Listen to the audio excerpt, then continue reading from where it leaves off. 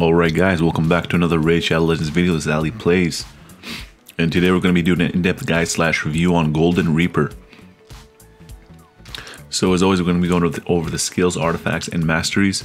And we're going to review Golden Reaper. And um, throw her, uh, throw him in some dungeon. I think it's a guy.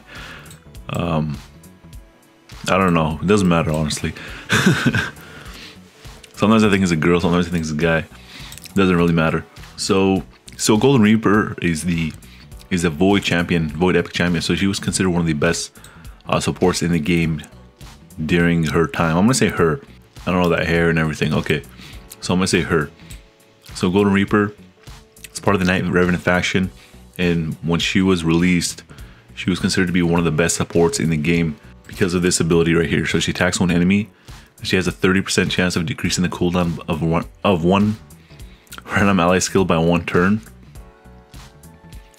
So this is all RNG, this is what sucks about it. But it, potentially it's very, very good. She also has an AoE that has a 50% chance of placing a decreased attack debuff for two turns. And she can decrease the turn of each target by 20% if they are not under a decreased attack debuff. So she does have a little bit of utility for Spider's Den. Yeah, I don't know how to pronounce this, I'm not even gonna bother. Plays a 30% increased speed buff on all allies for 2 turns and boosts her turn meter by 20%.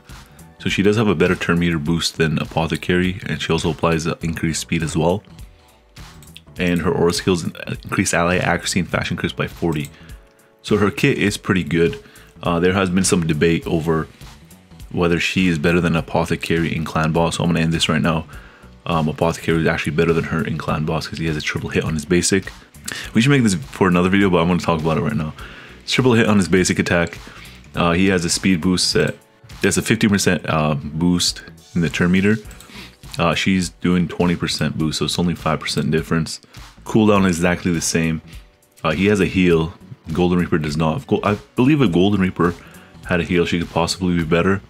But again, the triple hit on this attack right here, uh, it's kind of hard to it's kind of hard to beat that, especially with Giant Slayer on the clan boss.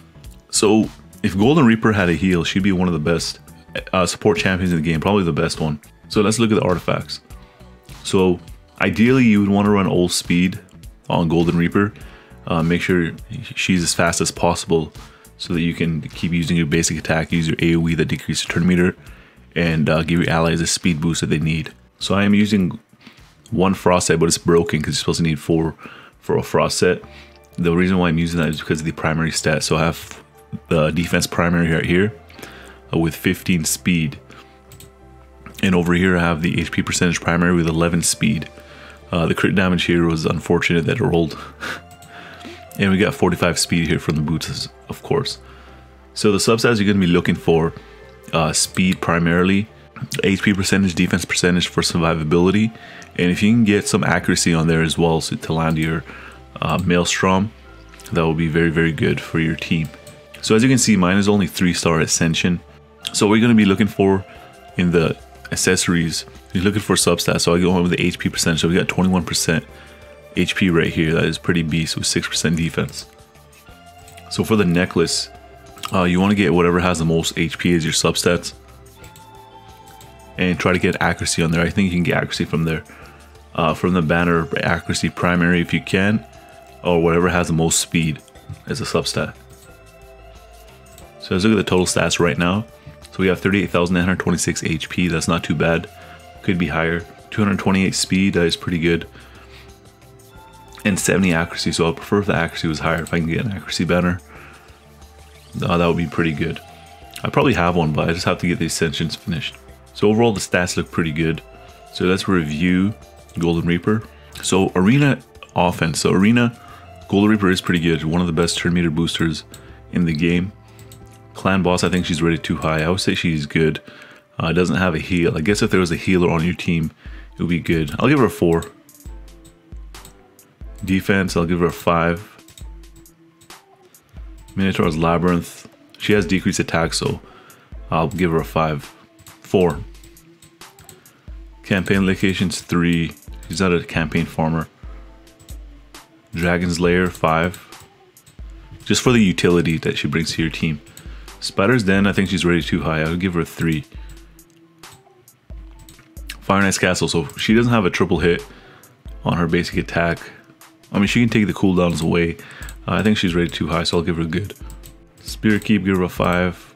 Ice Golem's Peak, I would give her a 5 because of the decreased attack as well as uh, reducing the cooldowns for your team so you can land more poisons, things like that. Void Keep 5, Force Keep 5, and Magic Keep 5. Let's look at the recommended artifacts. So one, two, three, four speed set and two health. So that is actually pretty good. Speed primary right here, HP, HP. Yeah, that's pretty good. So I would actually recommend uh, following that. But I actually prefer going old speed but this will make her more tanky. So let's submit these ratings. If you're gonna be running Golden Reaper in Clan Boss, I, I was testing her in Clan Boss, so I went the War Master.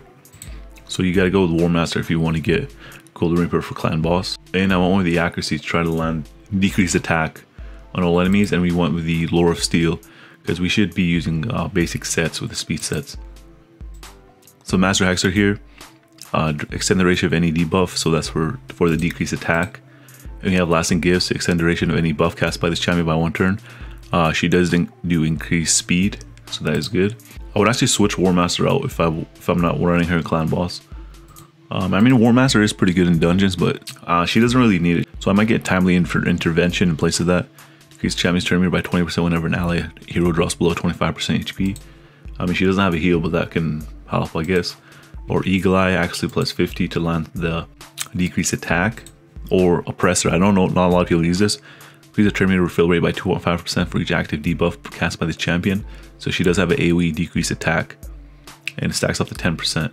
We'll throw Golden Reaper in place of Arbiter. Alright, so Golden Reaper is usually one of the fastest uh, champions in the game. So first move you're going to do is increase your turn meter and boost speed. Also, my Molly and Lorches are, pretty fast, so that is pretty surprising that she actually went first. Okay, see if she actually decreases cooldown. She didn't do it. We didn't need to, but whatever. Uh, we'll do one more battle. Try a hard one. Let's go with this one. Every all the team powers is way too low. I don't know what's been going on with Arena. I'm not complaining about it for showcase purposes. I prefer if I were fighting strong teams.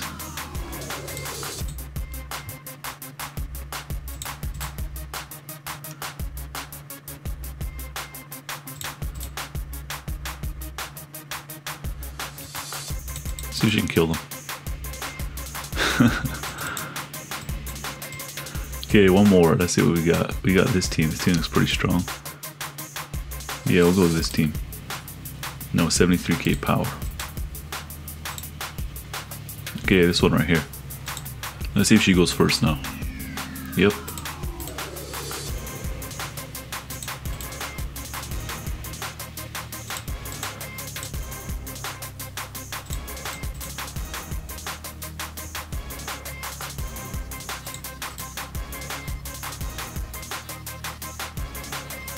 Alright, let's try to decrease cooldown. Let's see if it works. Nope. So it's all RNG with that ability.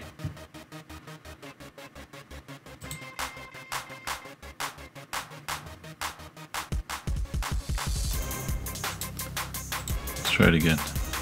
Okay, we got it on Lord Shazar.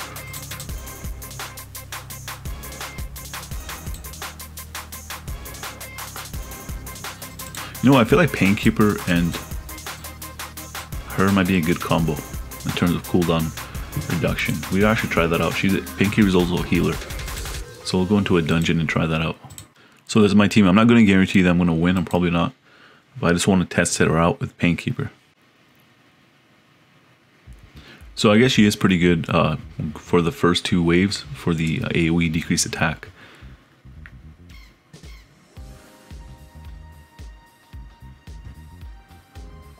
Oh, wow. By the way, I have a reflex set on Painkeeper. See that? She can uh, decrease her cooldown every time she takes a turn. Not every time, it's a 30% chance. So what we're going to do is we're going to skip to the dragon. So I'll skip all these parts. I don't want you guys watching a 20 something minute long video. 11 minutes later. So the reason why I'm using Juliana is for the poison HP burn and uh, for the poison There we go. And then my Juliana is actually built for CB. So she is pretty fast. Let's hope we can take this down. So again, I'm not guaranteeing we're going to win. Probably not. There we go. Get the poisons off. These will probably proc and take this down. So he probably won't be able to stun my team. Yep.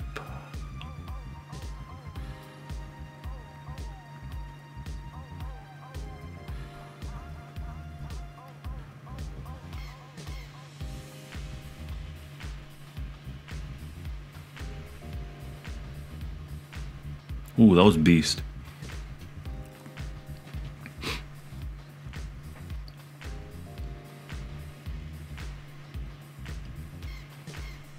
So if you guys are enjoying my content and you want to support the channel, I do have some links in the description. Um, you guys don't directly have to uh, send me any money, but it's just if you use my link for Dragon Champions, it's another game. It helps me directly, as well as my uh, BlueStacks link for Raid Shadow Legends. So those are the ways to help the channel. Also, I also have a Patreon set up. Oh, there it is. Yeah, you guys can use that if you want to help out the channel. Um, again, it's not mandatory. So I guess that did work. Uh, so overall, I would say Golden Reaper uh, is a very, very good support champion. Uh, it's unfortunate she doesn't have a heal, but you can also partner her up with a healer, so that is not an issue. Apothecary is actually a good choice to partner up with. They both have speed boost. Uh, when one of them is um, done using it, the other one can use it. So overall, for a support champion, I would say Golden Reaper possibly a 9, 9 out of 10. Because of her abilities, uh, 2 RNG, and she doesn't have a heal. So I'll give her a 9 out of 10. She is one of the best speed boosters in the game by that 20% turn meter boost and a 30% increase in speed. And she does have utility with that Maelstrom ability, where she's able to decrease attack and also decrease turn meter if, uh, if they don't have decreased attack. So that's it for the video, guys. If you guys found this video helpful or entertaining in any way, make sure you drop make sure to drop a like. Helps out the channel a lot. Helps with the YouTube algorithm. And if you guys are new to the channel and like what you see, then consider subscribing. I make Shadow Legends and Dragon Champions content almost every single day. And while you're at it, you can enable notifications. That's up to you. As always, I want to thank you guys for watching. And I'll see you guys in the next video.